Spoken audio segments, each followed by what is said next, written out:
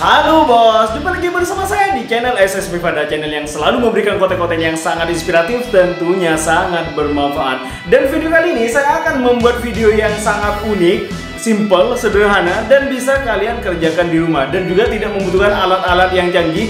Kita hanya sekedar menggunakan alat seperti yang sudah kita pakai seperti biasanya, bosku. Bagi kalian yang masih belum subscribe, silahkan subscribe channel SSB Pada dan aktifkan lonceng notifikasinya agar tidak ketinggalan setiap ada video terbaru dari channel yang sangat inspiratif ini, bos.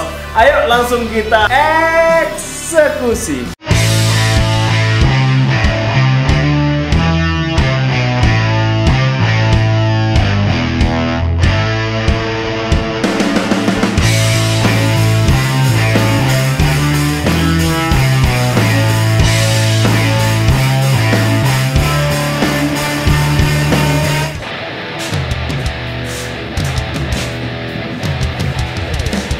Ini sisa multiplex yang saya gunakan untuk video yang ini bos.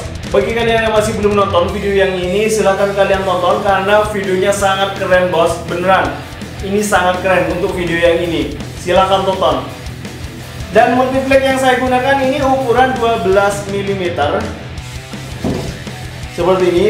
Akan tapi yang akan saya gunakan uh, untuk kali ini ini tidak full semuanya ya. Saya hanya mau menggunakan sedikit bos. Ayo langsung kita eksekusi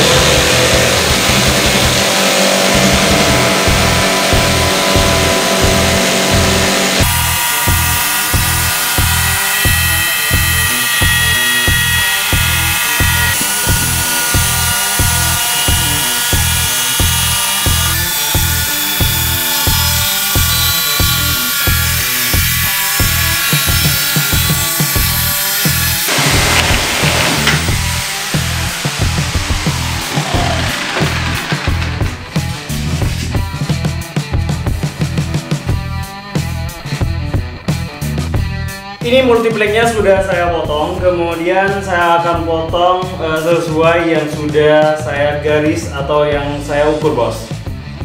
Saya potong lagi ya.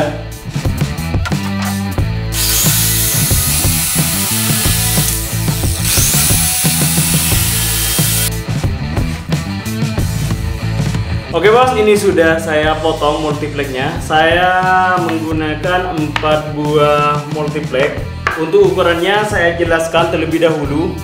Barangkali kalian mau membuat sesuai ukuran yang saya buat, Bos.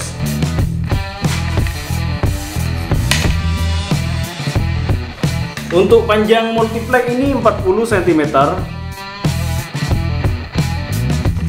Terus kemudian tingginya ini 11 cm, Bos. 11 cm. Dan untuk ukurannya itu sama semuanya bos. 40 cm kali 11 cm bos. Seperti ini. Oh iya selain kalian e, menggunakan multiplex ya Kalian bisa menggunakan kayu juga bos. Oke. Kemudian saya akan lanjutkan proses selanjutnya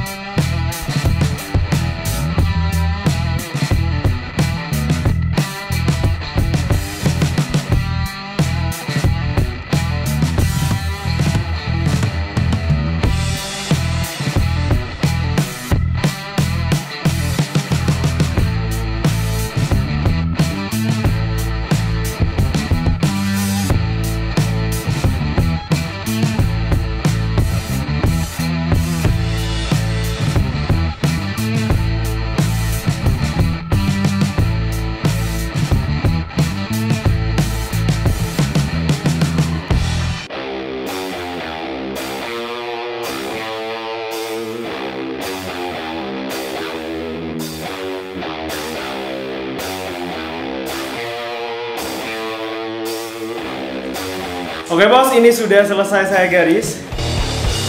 Bentuknya seperti ini. Ini sudah saya garis seperti ini. Untuk terlebih dahulu saya akan menjelaskan untuk uh, ukurannya supaya kalian tidak bingung misalnya mau membuat di rumah.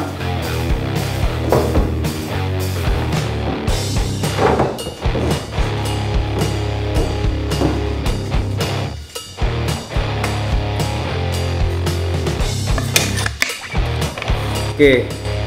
Untuk ukurannya yang ini, Bos, untuk pertama ya dari sebelah sini, ini ukurannya 13 cm.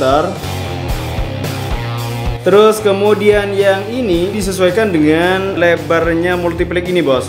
Misalnya 12 mm, jadi lebarnya ini 12 mm, Bos. Oke. Kemudian selanjutnya yang ini 19 cm. Sebentar. Oke 19 cm Dikasih jarak lagi. Dan yang ini ukurannya 5 cm bos. Oke Kemudian saya akan lanjutkan proses selanjutnya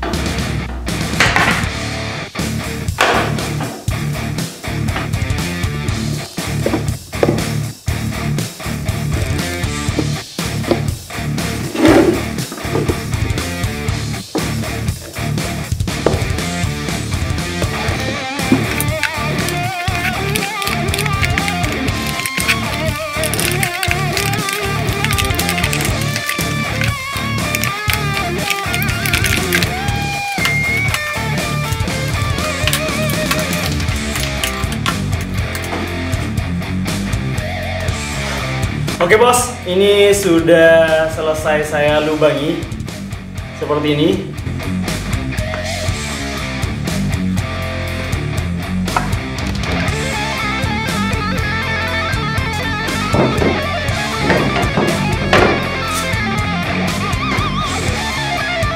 Tinggal saya rakit. Oke.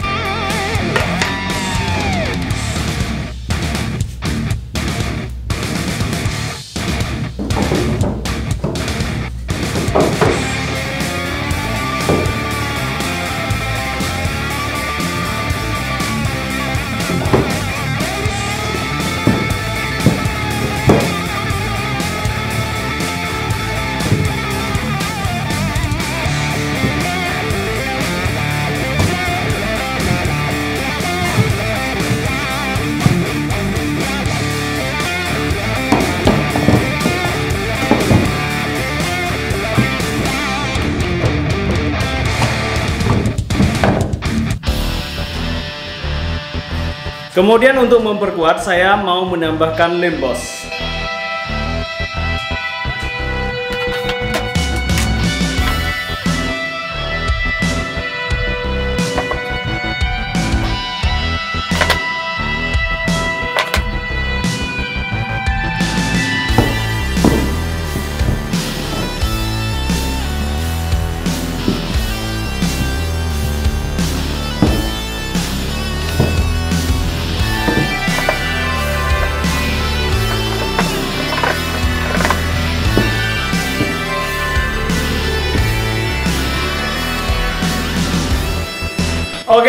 Bos, ini sudah saya rakit dan saya kasih lem biar lebih kuat.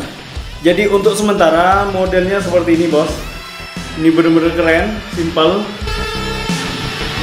Tinggal sekarang proses penghalusan. Di sini kan masih ada lebihnya sedikit. Ini dihaluskan pakai gerinda, akan tetapi gerindanya kalian menggunakan yang amplas bos. Oke? Oke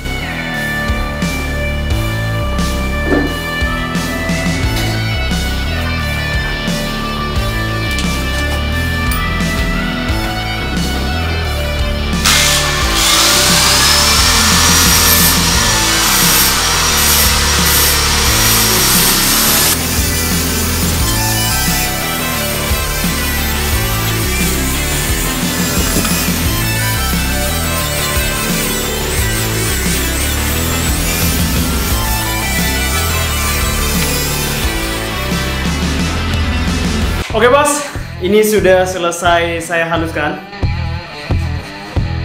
Kemudian tinggal proses selanjutnya yaitu sekarang proses pengecatan bos. Kali ini saya mau menggunakan cat warna putih. Misalnya kalian mau menggunakan warna lain, itu sesuai selera kalian bos, ya. Tidak ada patokan warna. Ataupun juga misalnya kalian langsung mau kasih cat vernish jadi kalian mau menggunakan original motif kayu seperti ini itu sebenarnya nggak masalah bos. Ini juga sudah bagus ya. Oke? okay?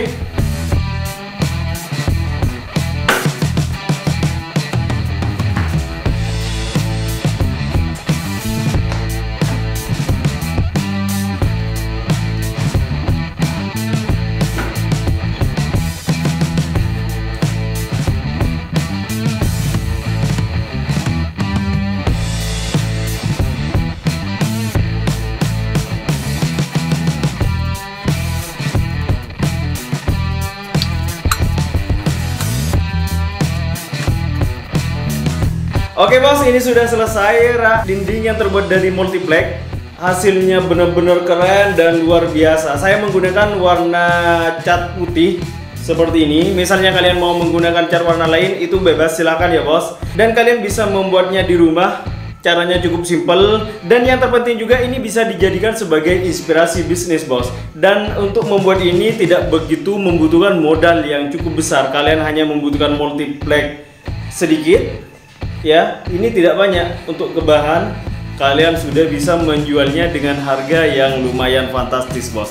Oke sekarang saya akan coba pasang ke dinding biar uh, kalian tidak nanya. Soalnya di komentar itu bang gimana caranya pasang ke dinding saya tidak tahu. Biasanya begitu pertanyaannya. Oke saya akan coba pasang di sebelah sini ya. Nggak masalah. Saya pasang di sini demi kalian bos. Oke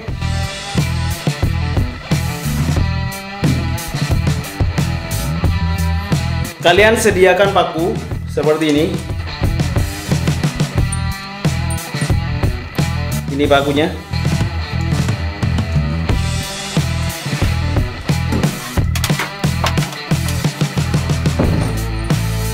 Untuk terlebih dahulu kalian ukur sebelum pasang paku bos.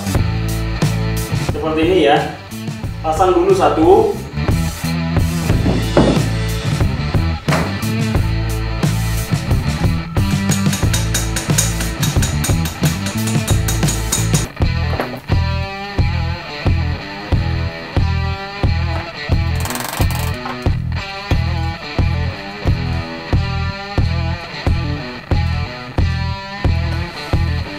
Oke bos, ini sudah saya pasang untuk rak dindingnya dan kemudian saya akan mengambil aksesoris seperti boneka, vas bunga dan lain sebagainya. Oke?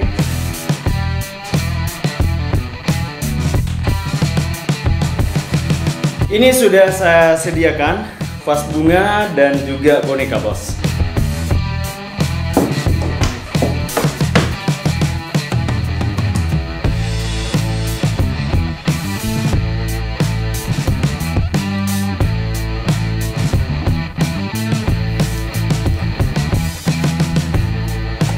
Oke bos, ini sudah selesai rak dindingnya. Cara pasangnya seperti ini, warnanya saya menggunakan warna putih dan juga aksesorisnya. Di sini ada boneka sama bunga bos. Misalnya kalian mau membuat di rumah caranya cukup simpel seperti yang saya berikan dari tadi tutorialnya.